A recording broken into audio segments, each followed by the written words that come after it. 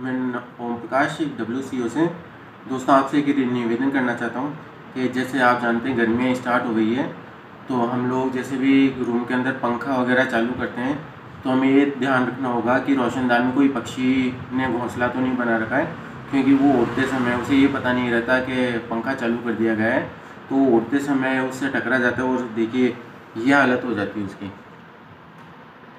इसका ये पैर बिल्कुल टूट चुका है। और इसके पंख में भी बहुत गहरी चोट आई है। देखिए।